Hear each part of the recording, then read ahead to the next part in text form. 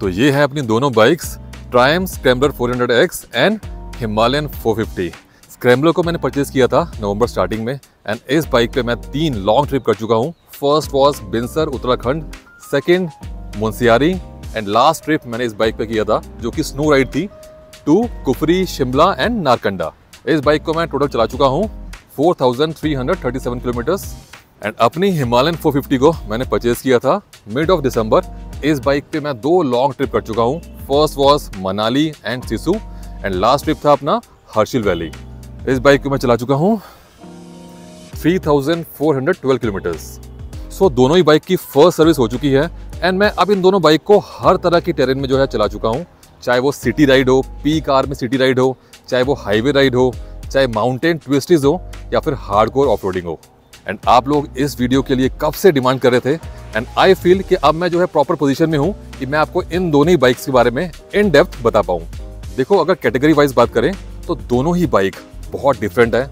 Himalayan अपनी hardcore adventure bike है and scrambler obviously एक स्क्रैमलर बाइक है एक सिटी बाइक है जिसमें आपको बेटर सस्पेंशन मिलता है बेटर आपको ग्राउंड क्लियरेंस मिलती है road plus off road tyre मिलते हैं एक बेटर राइडिंग पोस्टर मिलता है। सो so, दोनों का पर्पस डिफरेंट है बट कुछ रीज़न है जिसकी वजह से इन दोनों का ही कंपेरिजन बनता है। फ़र्स्ट ऑफ़ ऑल ये दोनों ही बाइक एक साथ लॉन्च हुई हैं एंड एक सेगमेंट में लॉन्च हुई हैं। प्राइस वाइज बात करें तो भी एक सेगमेंट है। अगर हम पावर वाइज बात करें तो भी एक ही सेगमेंट है।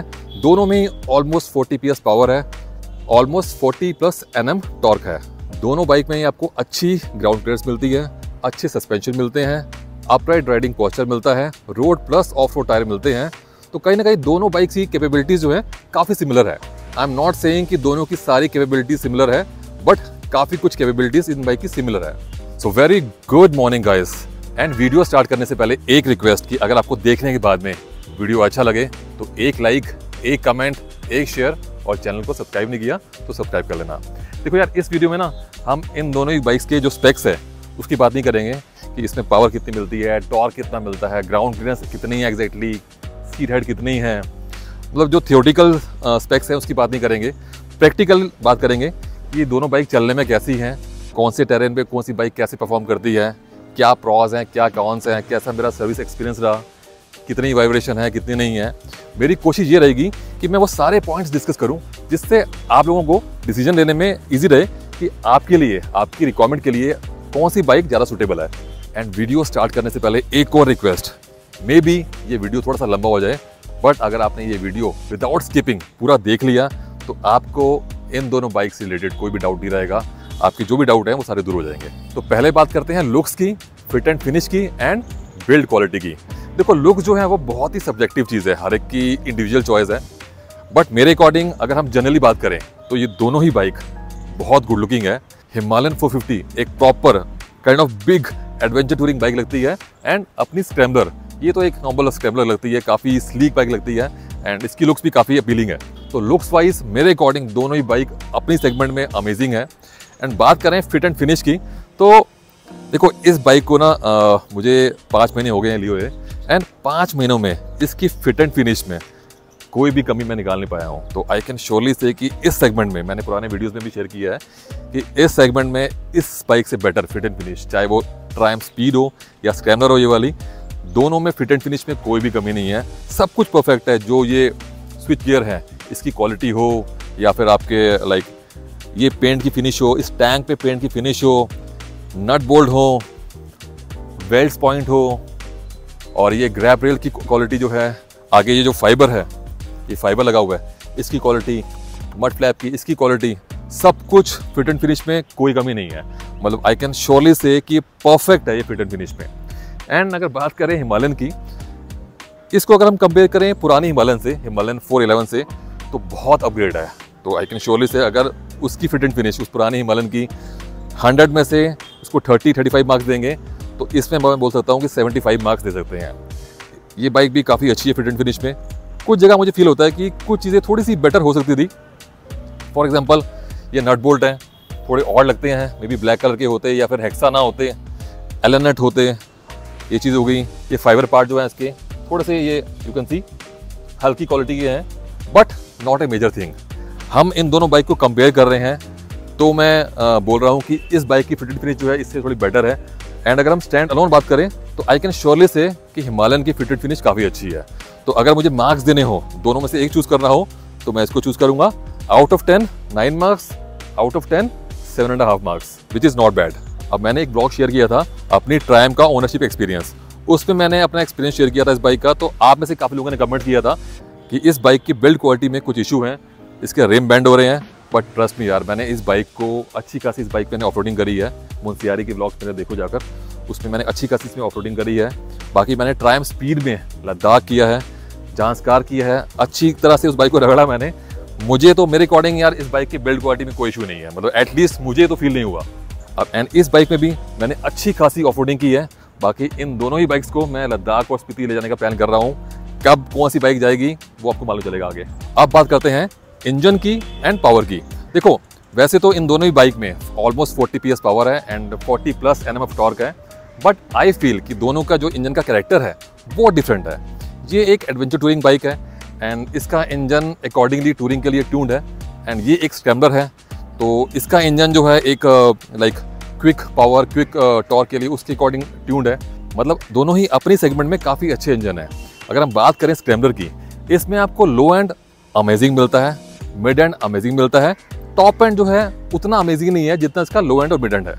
वहीं अगर हम बात करें हिमालयन की, इसमें आपको लो एंड उतना अमेजिंग नहीं है। इसमें जो आपको पावर मिलती है, वो मिलती है 3000 3500 आरपीएम के बाद में। बट मिड एंड अच्छा है टॉप एंड बहुत अच्छा है इसका। तो टूरिंग के लिए हमें बाइक में टॉप एंड अच्छा होना चाहिए, वो इस बाइक में है। एंड एक स्क्रैम्बलर में मेरे अकॉर्डिंग मिड एंड और लो एंड जो है, वो ज़्यादा अच्छा होना चाहिए, वो हमें इस बाइक पे मिलता है। मैंने इन दोनों ही बाइक्स में ऑलमोस्ट आई थिंक 140 145 की जो स्पीड है, वो टच करी है। एंड जो मेरा राइडिंग स्टाइल है, मैं क्लोज टू 110 115 की स्पीड पे क्रूजिंग करता हूँ। मैं वो क्रूजिंग इस बाइक पे भी कर लेता हूँ, वो क्रूजिंग 115 की स्पीड पे इस बाइक पे भी कर लेता हूँ, कोई दिक्कत नहीं होती है। बट अगर आप मुझसे पूछोगे कि दोनों बाइक का स्वीट स्पॉट क्या है? तो आई से कि इस बाइक का जो स्वीट स्पॉट है, वो है 90 किलोमीटर पर आर एंड इसका है 100 अब मैं बात कर रहा हूँ स्वीट स्पॉट की। दैट मीन्स कि जिस स्पीड पे इन बाइक्स का इंजन एकदम कंफर्टेबली फील करता है। मतलब आपको बिल्कुल भी नहीं लगता कि आप बाइक का इंजन को हल्का सा पुश कर रहे हो। नो no डाउट इन दोनों ही बाइक्स को आप 120 की स्पीड तक आराम से ऑल डे लॉन्ग क्रूज कर सकते हो। पर ठीक है, वो थोड़ा बहुत फील होगा कि आप पुश कर रहे हो but that's not an issue so 90 की स्पीड इसके लिए एंड 100 की स्पीड इसके लिए मोस्ट कंफर्टेबल स्पीड है। अब इंजन की बात हो रही हो पावर की बात हो रही हो और वाइब्रेशन की बात ना हो, ऐसा पॉसिबल नहीं है क्योंकि ये ना बहुत लोगों का कंसर्न होता है कि भाई वाइब्रेशन कितनी है वाइब्रेशन बोल लो या बजिंग बोल लो, कुछ भी बोल लो। तो इन दोनों बाइक्स में बजिंग है फॉर श्योर है। आई वॉज़ सरप्राइज़ कि जब इस बाइक के स्टार्टिंग में वीडियोज़ आए थे तो स्टार्टिंग के वीडियोस में एवरी वन सेइंग कि इसमें बिल्कुल भी वाइब्रेशन नहीं है, एकदम स्मूथ इंजन है। तो भाई ऐसा बिल्कुल भी नहीं है। आपकी कोई भी सिंगल सिलेंडर बाइक जिसमें आपको 40 पीएस पावर मिल रही है, मेरे अकॉर्डिंग ऐसी कोई बाइक मार्केट में नहीं है जिसमें बिल्कुल भी वाइब्रेशन ना हो। तो सिंगल सिलेंडर बाइक में 40 पीएस पावर के साथ में आपको बजिंग जो है श्योरली मिलेगी। इस बाइक में भी वाइब्रेशन है, इस बाइक में भी बजिंग है मतलब दोनों में बजिंग है। एंड कितनी स्पीड पे बजिंग आती है, कितने पे नहीं आती है मतलब कि सौ पे आती है, सौ के बाद नहीं आती है, फिर आती है मतलब तो मैं इतनी डिटेल में आपको बता नहीं पाऊँगा। बट हाँ फॉर श्योर इन दोनों ही बाइक में बजिंग है। बट मेन क्वेश्चन ये है कि क्या वो अनोइंग है? नहीं, मुझे दो ट्रिप मैंने इस पर कर लिए है, एक ट्रिप इस पर कर लिया है। दोनों मिला के मैंने close to eight thousand kilometre bike चला ली है। मुझे इन दोनों में वाइब्रेशन बजिंग बिल्कुल भी अनोइंग नहीं लगी। एंड देखो यार मेन क्वेश्चन ये है कि ये दोनों ही बाइक अपनी सेगमेंट के लेटेस्ट इंजन है। एंड आई डोंट फील कि मार्केट में इसके अलावा कोई ऐसी और बाइक अवेलेबल है जिसमें आपको इससे कम वाइब्रेशन मिले। Next clutch and gear shifting clutch and gear shifting दोनों ही बाइक में अल्टीमेट स्मूथ है। मतलब मैं क्लच तो कंपेयर नहीं कर सकता कि किसमें ज़्यादा स्मूथ है बट काफ़ी स्मूथ है। मतलब आपको बिल्कुल भी फील नहीं होता। लॉन्ग राइड्स कर रहे हो, आप सिटी में कर रहे हो हाईवे पे कर रहे हो हिल्स पे कर रहे हो, आपको गियर चेंज करने पड़ते हैं, आपको बिल्कुल भी डिस्कम्फर्ट फील नहीं होता। बहुत लाइट है। एंड गियर शिफ्टिंग जो है, वो आई कैन से कि मुझे हिमालयन में ज़्यादा स्मूथ लगती है। दैट डजेंट मीन कि स्क्रैम्बलर में कोई इशू है but I am just comparing both bikes तो आई कैन टेल कि इसमें जो है, थोड़ा जो गियर शिफ्टिंग है, वो ज़्यादा स्मूथ है। बट दोनों बाइक में क्लच गियर शिफ्टिंग अमेजिंग है। नेक्स्ट सस्पेंशन सस्पेंशन में तो दिस बाइक इज़ मतलब तूफ़ान है बाइक आई डोंट थिंक कि इस बाइक के आसपास कोई बाइक है इस सेगमेंट में जिसका सस्पेंशन जिस बाइक का सस्पेंशन इससे अच्छा हो। इस बाइक को जब मैंने ऑफ़ रोडिंग में चलाया, तब मुझे लगा कि कितने बढ़िया सस्पेंशन है। Of course this is a hardcore like adventure touring bike है तो सस्पेंशन अच्छा होना चाहिए ऑफ़ रोडिंग के टाइम पे। बट सेम टाइम पे, जब आप इस बाइक को चलाते हो प्लेन्स में हाईवे पे तो बाइक बहुत ही प्लांटेड फील होती है। एंड आई डोंट नो ये कैसे किया कंपनी ने बट सस्पेंशन में this is better no doubt scrambler के सस्पेंशन की बात करें तो इस बाइक का सस्पेंशन भी काफ़ी अच्छा है। मतलब मुझे रफ पैचेस में ऑफ़ पैचेस में कोई दिक्कत हुई नहीं but of course this is not hardcore off roading bike तो उसके अकॉर्डिंग जो है, इसका सस्पेंशन है। एंड इस बाइक के साथ में ऐसा है कि रफ पैचेस में आपको बिल्कुल फील नहीं होता, कोई इशू नहीं होता। ऑफ़ जो हार्ड कोर ऑफ़ पैचेस होते हैं वहाँ आप इस बाइक को स्मूथली निकाल सकते हो। मतलब आपको बहुत ज़्यादा स्लो करने की रिक्वायरमेंट रहती नहीं है। तो श्योरली टूरिंग के पॉइंट से अगर हम बात करें, लद्दाख की बात कर रहे हैं स्पीति की बात कर रहे हैं तो इस सस्पेंशन के साथ में आपको कोई दिक्कत नहीं आने वाली। मैंने स्पीड पे लद्दाख किया है जांचकार किया है, और उस बाइक के सस्पेंशन जो है काफ़ी अच्छे हैं। But that is not a scrambler और ऑफ़ रोडर बाइक तो आई कैन श्योरली से कि इसका सस्पेंशन जो है अमेजिंग है एंड आपको लद्दाख स्पीति जैसे टेरेन में कोई दिक्कत आने वाली नहीं है। नेक्स्ट इज़ हेडलाइट देखो यार हेडलाइट तो दोनों बाइक्स की जो एल e है बट दोनों की जो हेडलाइट का थ्रू है, वो एकदम वाहियत है। अगर आपको इस बाइक को सिटी में राइड करना है तो तो कोई इशू नहीं है, आप कर सकते हो, क्योंकि आपको जो स्ट्रीट लाइट है वो मिलती हैं। बट आपको टूरिंग करनी है नाइट में, जहाँ आपको बिल्कुल भी सीट लाइट नहीं मिलेगी, अंधेरा मिलेगा, वहाँ पर आपको ऑक्स लैम्प लगाने पड़ेंगे। मैंने इसमें लगा रखा है मेडॉक का अल्फ़ा स्कलर में है मेडॉक की स्काउटेक्स दोनों का थ्रो जो है ऑलमोस्ट इसका जो थ्रो है, वो डबल है compare to स्काउटेक्स next seat height and riding posture पहले बात करते हैं अपनी हिमालयन की। हिमालयन की जो सीट हाइट है, आपको मिलती है 825 ऑप्शन है इसमें 845 करने की। आपको इसमें सीट में ओपन करके नीचे से ऑप्शन है इसको चेंज करने की। मैंने जो इसकी सीट हाइट है, वो की हुई है 845 forty I show you I am five nine plus और मेरे पाँव जो हैं काइंड ऑफ़ फ्लैट फुटिंग है यू कैन से क्योंकि सस्पेंशन काफ़ी अच्छा है तो बाइक थोड़ी बैठती है आपकी। And this is the riding posture और मेरी हाइट के अकॉर्डिंग में तो यू कैन सी जो मेरे फुट हैं, वो जस्ट थाई के मिड के बीच में आ रहे हैं। बहुत ही कंफर्टेबल राइडिंग पॉस्चर है। मेरी हाइट के अकॉर्डिंग अगर फाइव नाइन प्लस आपकी हाइट है तो आई सजेस्ट आपकी, आपको इस बाइक की जो सीट हाइट है, वो एट फोर्टी फाइव करनी चाहिए।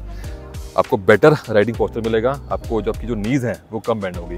एंड यू कैन सी मेरे जो दोनों आर्म्स हैं, एकदम कंफर्टेबल है।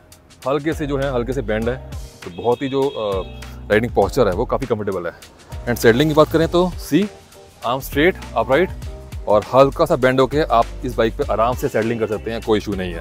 तो अभी तो मुझे इस बाइक पे कुछ भी हैंडल बार में कुछ चेंज करने की रिक्वायरमेंट नहीं है। ना ही मैं इसमें कुछ हैंडल बार राइजर लगवाने की सोच रहा हूँ। I don't know let's see future में कुछ अगर रही रिक्वायरमेंट तो। एंड अगर बात करें अपनी स्क्रैमलर की, इसकी हाइट है एट थर्टी फाइव एंड इसमें भी मेरे काइंड ऑफ़ फ्लैट फुट नहीं होते हैं। हल्के से जो है टिपटो होते हैं। एंड राइडिंग पॉस्चर इसका भी अमेजिंग है। आई फील कि राइडिंग पॉस्चर जो बाई डिफ़ॉल्ट मिल रहा है स्क्रैमलर में मुझे बेटर लगता है मेरी हाइट के लिए फॉर फाइव नाइन एंड इसमें भी आपको सेटलिंग करने में कोई इशू नहीं है। इनफैक्ट इसमें सेटलिंग करना मेरे लिए थोड़ा ईजी है। इसमें मुझे हल्का सा बैंड जो है कम होना पड़ता है। उसमें हल्का सा बैंड जो है ज़्यादा होना पड़ रहा है। बट कोई इशू नहीं है। एंड इसमें भी जो फुट पैक की पोजीशन है, वो थाइस के मिड के बीच में है। राइडिंग ट्राइंगल जो है ऑलमोस्ट सेम है, जैसे हिमालय में है।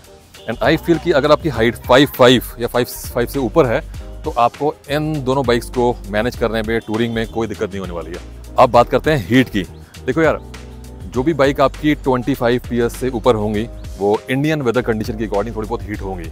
मैंने अभी लास्ट छः महीने में काफ़ी बाइक राइड कर ली हैं, जो कि इस सेगमेंट की हैं, चाहे वो K T M three ninety adventure हो, या आपकी बी एम डब्ल्यू की जी एस थ्री टेन हो। बाइक थोड़ी बहुत हीट करती हैं नो डाउट इस पावर के साथ में, इन बाइक्स में, जिसमें आपको लिक्विड कूलिंग मिल रही है फ़ैन लगा हुआ है हीटिंग को हीट को जो लाइक डिसिपेट करने के लिए तो बाइक जो है थोड़ी बहुत हीट होंगी, आपको उसके साथ में यूज़ टू होना पड़ेगा। तो यस ये बाइक भी हीट करती है स्पीड काफ़ी हीट करती है, जब मैं लद्दाख ले गया था उसको, उस टाइम काफ़ी गर्मी थी एंड अपनी हिमालयन भी, मैंने अपने लास्ट ट्रिप में हर्चिल वैली की ट्रिप में, मैंने फील किया था कि बाइक हीट करती है। एंड अभी तो पीक समर आई नहीं है पीक समर्स आएँगी तो फॉर श्योर ये बाइक जो है हीट करेंगी। तो आई सजेस्ट कि आप जब भी लॉन्ग डिस्टेंस टूरिंग करें तो राइडिंग पैंट यूज़ करें एंड uh, खासकर राइडिंग शूज़ यूज़ करें। मेरे जो राइडिंग शूज़ हैं वो यहाँ तक आते हैं। तो उससे जो है काफ़ी हीट से प्रोटेक्शन मिल जाती है। प्लस अगर आप राइडिंग पैंट यूज़ करोगे तो आपको ज़्यादा प्रोटेक्शन मिलेगी। एक पॉइंट मिस हो गया वो है ब्रेकिंग अपनी बाइक अपनी हिमालयन की हिमालयन 450 की ब्रेकिंग काफ़ी अच्छी है काफ़ी इफ़ेक्टिव है। मुझे इस बाइक की ब्रेकिंग से कोई भी कंप्लेंट नहीं है। अपनी स्क्रैमलर में जो आपको फ्रंट की ब्रेकिंग मिलती है, वो उतनी अच्छी नहीं है। इसमें आपको ऑर्गेनिक ब्रेक पैड मिलते हैं। अभी कंपनी ने इसमें कुछ चेंज किया है, ये ब्रेक लीवर जो है चेंज किया है इसका। तो इससे जो प्रेशर है, वो थोड़ा ज़्यादा जाता है। तो ब्रेकिंग थोड़ी सी ज़्यादा बेटर हो गई है। स्टिल आई फील कि इसमें आपको ब्रेक पैड जो है, अगर टूरिंग करनी है तो आपको फ्रंट के ब्रेक पैड जो है, आपको चेंज करने पड़ेंगे। मैं सोच रहा हूँ कि एक बार ये ब्रेक पैड जो है, पूरे घिस जाएँगे तो उसके बाद में मैं इसमें कुछ डिफरेंट जो है बेटर जो है ब्रेक पैड इंस्टॉल करवाऊँगा। अब बात करते हैं एक मेन पॉइंट की। ये पॉइंट ऐसा है कि अगर मैं आपको ये अपना जो रिव्यू है, ये मैं स्टार्टिंग में आपसे शेयर करता बाइक लेने के बाद में शेयर करता तो मैं शायद आपसे ये शेयर ना कर पाता।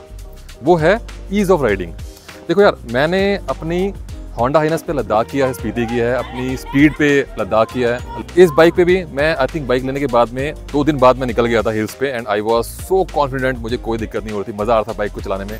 बाइक के साथ फन करने में मुझे मज़ा आ रहा था। एंड इसका जो ईज़ ऑफ़ राइडिंग है, वो काफ़ी ऐसा है कि अगर आप न्यू हो राइडिंग में लॉन्ग डिस्टेंस टूरिंग में न्यू हो, तब भी इस बाइक के साथ में आप बहुत जल्दी यूज़ हो जाओगे।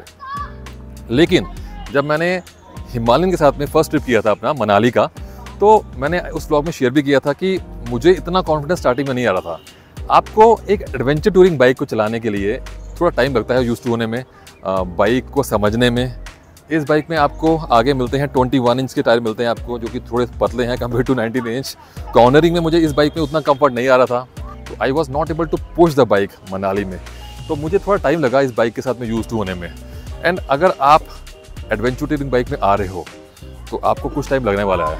एंड अभी मैंने जब लास्ट ट्रिप किया है अपना हर्शिल वैली का तो उस टाइम पे I was able to enjoy this bike तब मैं इस बाइक के साथ में फन कर पा रहा था and I was able to feel the you know capabilities of this bike इस बाइक में कितनी कैपेबिलिटीज़ हैं? तो आपको इस बाइक को, एक एडवेंचर टूरिंग बाइक को एंजॉय करने के लिए थोड़ा सा स्किल सेट जो है एक्वायर करना पड़ेगा। उसके लिए आपको कुछ ट्रेनिंग लेने की रिक्वायरमेंट नहीं है। मतलब ठीक है ऑफ़ के लिए आपको ट्रेनिंग लेनी है तो आप ले सकते हो। बट अदरवाइज़ थोड़ा टाइम लगता है आपको यूज़ होने में, एक एडवेंचर टूरिंग बाइक में। बट इस बाइक के साथ में ऐसा है कि आपने बाइक आज ली, लेके निकल जाओ। हिमालयन जो है एक टॉप हैवी बाइक है कंपेयर टू स्कैमलर इस बाइक में आपको वेट बिल्कुल भी फील नहीं होता। अगर जैसे मैं यहाँ बैठा हूँ बाइक पे और so light you feel so light जबकि इस बाइक में और उस बाइक में जस्ट टेन के का वेट का डिफरेंस है बट उस बाइक में आपको वेट फील होता है, आप आगे पीछे करते हो तो। सो आई कैन श्योरली से कि इस बाइक के साथ में एक न्यू राइडर को काफ़ी मज़ा आने वाला है स्टार्टिंग में ही। इस बाइक में आपको थोड़ा टाइम लगेगा यूज़ होने में बट जब आप यूज़ टू हो जाएँगे इस बाइक के साथ में I am sure you going to enjoy this bike अब बात करते हैं कि कौन से टेरेन में कौन सी बाइक इन दोनों में से बेस्ट परफॉर्म करती है बेस्ट फील होती है। अगर मैं बात करूँ सिटी राइडिंग की बम्पर टू बम्पर ट्रैफ़िक की नो डाउट अपनी स्कैमलर जीत जाएगी, बहुत ही निम्बल बहुत ही easy to ride bike feel होती है आपको no doubt full marks to scrambler अब बात करें हाईवे की हाईवे टूरिंग की तो आपकी हिमालयन बेटर परफॉर्म करती है। उसके दो तीन रीज़न है। फ़र्स्ट ऑफ़ ऑल इसका जो इंजन है, वो आपको टॉप एंड में अमेजिंग परफॉर्मेंस देता है। सेकेंडली सस्पेंशन जो है इसके काफ़ी अमेजिंग है इसके। वो इसके भी हैं। थर्ड मेन रीज़न जो मुझे लगता है, अगर आप देखोगे हिमालयन में, मैं यहाँ बैठा हूँ, यहाँ तक जो है विंड जो है विंड ब्लास्ट जो है कम हो जाएगा। तो मुझे इसके ऊपर जो है विंड ब्लास्ट फील होगा इस बाइक में, हिमालयन में बाय डिफ़ॉल्ट क्योंकि एडवेंचर टूरिंग बाइक जो होती है, वो आगे से रेज रहती है तो आपका विंड ब्लास्ट जो है कम हो जाता है फॉर श्योर बट वहीं अगर मैं बात करूँ अपनी स्क्रैम्बलर की तो इसमें थोड़ी दिक्कत ये है कि मुझे यहाँ से पूरा थ्रू आउट इधर विंड ब्लास्ट जो है फील होगा। सो विंड ब्लास्ट अगर आपको कम फील होगा, आप 120 स्पीड में चला रहे हो तो नो डाउट फटी कम होगी, थकान कम होगी। तो दैट्स वाई कैन श्योरली से कि हाईवे पर ये बाइक जो है बेटर परफॉर्म करती है। अब बात करें माउंटेन ट्विस्टिस की। नो डाउट ये बाइक माउंटेन ट्विस्टिस में बेटर परफॉर्म करती है। रीज़न बीइंग कि इसका लो एंड अच्छा है मिड एंड अच्छा है। मेरे फ़र्स्ट ट्रिप पे जब मैं हिल्स पे गया था तो जब मैं बाइक पे टर्न ले रहा था स्टीप हाइट पे, मेरे माइंड में था कि गियर मेरा सेकंड गियर होगा या थर्ड गियर होगा एंड मैंने नोटिस किया तो ये बाइक फिफ्थ गियर में थी। तो इसका लोन इतना अच्छा है कि आपको गियर मालूम चलता नहीं है कौन से गियर में चल रहे हो आप। तो इस बाइक के साथ में आपको माउंटेन ट्विस्टिस में बहुत मज़ा आता है। तो माउंटेन ट्विस्टिस के लिए ये बाइक बेटर है। अगर बात करें हार्ड कोर ऑफ़ की नो डाउट उस केस में Himalayan is best next important thing is mileage mileage देखो, मैंने इन दोनों की बाइक की जो माइलेज है, वो मैंने सिटी में कभी चेक नहीं करी है। हाईवे पे आपकी जो माइलेज है बाइक की, वैसे तो माइलेज जो है ना आपकी वो राइडिंग स्टाइल पे बहुत ज़्यादा डिपेंड करती है। मेरी आदत है, मैं बाइक को काफ़ी ज़्यादा पुश करता हूँ। तो मुझे जो बाइक मुझे जो माइलेज मिल रही है इस बाइक पे, हाईवे पे, वो क्लोज टू आप बोल सकते हो कि ओवरऑल 30 किलोमीटर पर लीटर की मिल रही है माइलेज एंड वहीं मैं बात करूँ स्कैमलर की तो इसमें 27 28 तो दो एट किलोमीटर का डिफरेंस है दोनों की माइलेज में when it comes to highway riding city में मुझे फील होता है कि इस बाइक की माइलेज मैंने कभी नोटिस नहीं करी है। स्टिल जब मैं टैंक मैंने अभी लास्ट टाइम जब ट्रिप किया था, उससे पहले मैं आई थिंक एक महीना मैंने इस बाइक को सिटी में राइड किया था। एंड टैंक फिल कराने के बाद में मुझे लगता था कि टैंक की जो बार्स हैं एकदम कम हो रहे हैं। तो सिटी में आई फील कि इसकी माइलेज जो है, एकदम ड्रेस्टिकली जो है, कम हो जाती है। Next service cost and service interval देखो, दोनों बाइक की जो सर्विस कॉस्ट है फ़र्स्ट सर्विस कॉस्ट इस बाइक की थी I think close to two thousand rupees इसकी भी आई थिंक उतनी थी I think nineteen hundred rupees थी या ट्वेंटी वन हंड्रेड रुपीज़ थी। मुझे एक्जैक्टली ध्यान नहीं है बट मोरलेस सेम ही है इकोनॉमिकल है। एंड जो सर्विस इंटरवल है, इस बाइक का है फाइव थाउज़ेंड किलोमीटर और सिक्स मंथ इसका है sixteen thousand kilometre but practically मुझे लगता है कि इंडियन कंडीशन के हिसाब से ना सिक्सटीन थाउज़ेंड किलोमीटर जो है, ज़्यादा है। इस बाइक को मैं अभी आई थिंक पाँच सौ हज़ार किलोमीटर और चलाने के बाद में एक बार इसका इंजन ऑयल चेक कराऊँगा और अपना एक्सपीरियंस शेयर करूँगा। एंड आई फील कि इसका engine oil in any case sixteen thousand kilometre चलने वाला नहीं है। फ़िल्टर मैं बता चुका हूँ कि इस बाइक का प्राइम स्पीड का मैंने 5000 किलोमीटर के बाद में चेंज कराया था। So I don't know how company has quoted 16000 kilometre service interval for these bikes I feel कि इन दोनों बाइक्स को ही आपको पाँच छः हज़ार किलोमीटर में जो है सर्विस कराना पड़ेगा। अब बात करते हैं इन दोनों बाइक्स के टॉप टू पॉजिटिव पॉइंट्स की। इस बाइक में मुझे लगता है जो टॉप टू पॉजिटिव पॉइंट है, वो है फ़र्स्ट इस बाइक में है suspension as I told you amazing suspension second highway performance इस बाइक का वेट है क्लोज टू टू हंड्रेड के ये बाइक हाईवे पे बहुत ही स्टेबल बहुत ही प्राइटेड फील होती है। तो एंड आई वॉज़ इम्प्रेस्ड जब मैं इस बाइक को फ़र्स्ट टाइम लेके गया था मनाली ट्रिप पे। एंड अभी मैं जब हर्षिल से लेके आया इसको, मैंने एक दिन में इस बाइक को नॉन स्टॉप चार घंटे राइड किया। सो आई कैन श्योरली से कि इस बाइक की जो हाईवे परफॉर्मेंस है, वो अमेजिंग है। एंड अगर बात करें अपनी स्क्रैमलर की तो इसका जो टॉप मोस्ट पॉइंट है टॉप मोस्ट पॉजिटिव पॉइंट है, वो इसका है low end and mid end low end and mid end bike का जो है, वो उसकी वजह से ये बाइक माउंटेन ट्विस्टिस पे बहुत ही अमेजिंग फील होती है। मतलब आपको एक्चुअली मज़ा आता है। अगर आप इस बाइक को फ़र्स्ट टाइम भी लेके जाओगे पहाड़ों में तो आपको फील होगा कि आपको कितना मज़ा आने वाला है इस बाइक के साथ सेकेंडली फ्लिकेबिलिटी 190 नाइन्टी के आसपास का वेट है। स्टिल आपको सिटी में मनूवर करने में माउंटेन ट्विस्टिस में आपको बिल्कुल भी फील नहीं होता कि इसका वेट जो है 190 केजीज है। सो आई कैन श्योरली से इसका इंजन एक, इसका बेस्ट पॉइंट है। Low end and mid end की बात करें। सेकेंड फ्लिकेबिलिटी आप बात करते हैं नेगेटिव पॉइंट्स की। अपने हिमालयन में, देखो छोटे मोटे जो नेगेटिव पॉइंट्स हैं ना, उसकी बात नहीं करूँगा मैं। जैसे कौन सेट का इशू आ रहा है कुछ बंदों को, मुझे ऐसे कोई इशू नहीं आया। एक इसमें जो है, वो की की आवाज़ सी आती है, कुछ फ्यूल इंडिकेशन की जो, जिसका फ्यूल पंप है, उसकी आवाज़ आती है आई डोंट नो क्या है वो है, उसकी बात नहीं करूँगा। जो मेजर नेगेटिव पॉइंट है मुझे इस लगता है इस बाइक में, वो क्या है?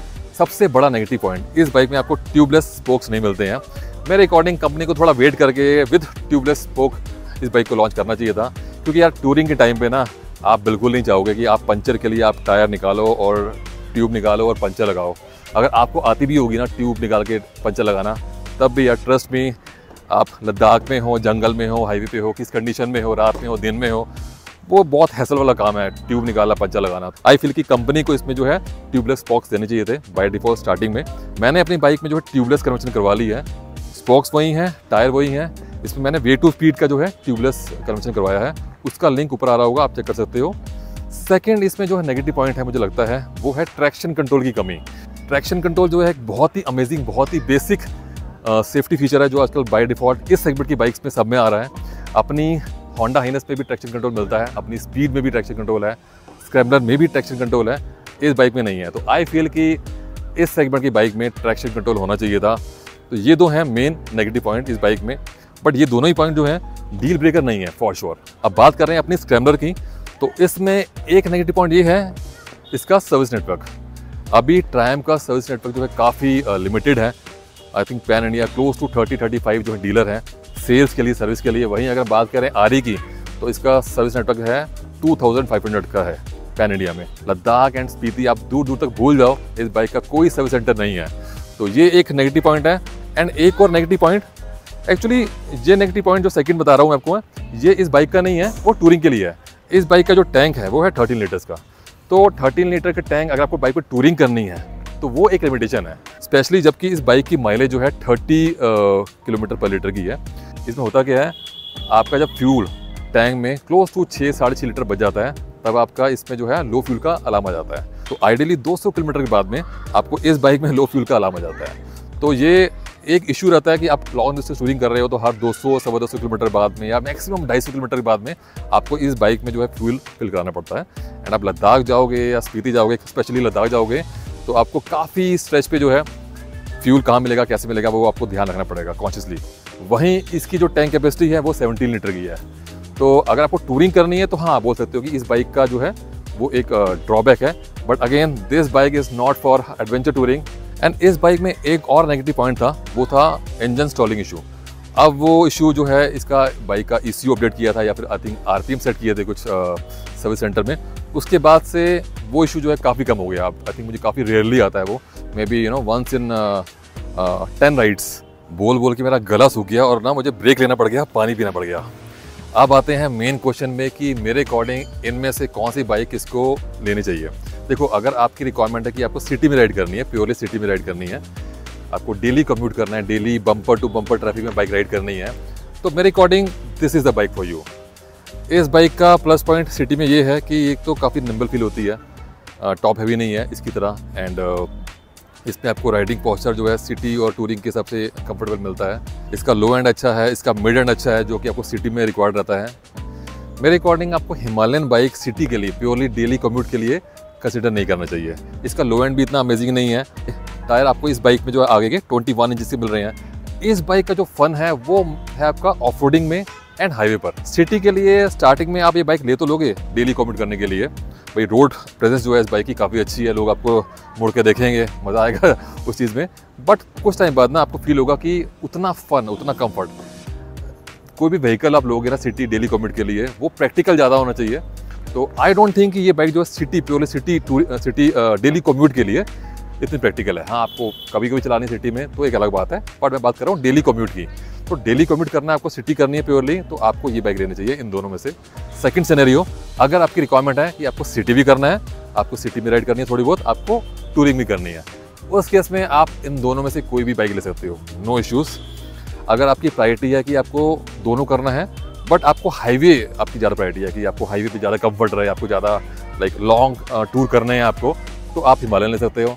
आपको ऐसा है कि मिक्स रिक्वायरमेंट है, लेकिन आपके लिए सिटी प्रायोरिटी है कि मुझे सिटी में कम्यूट भी करना है मुझे डेली कम्यूट भी करना है और टूरिंग भी करनी है। Then you can definitely go with this bike scrambler एक एडवेंचर टूरिंग बाइक नहीं है बट इस बाइक के साथ में आप पैन इंडिया टूरिंग आराम से कर सकते हो। You can do Kashmir to Kanyakumari you can do north east you can do Nepal आप इस बाइक के साथ में सब कुछ कर सकते हो।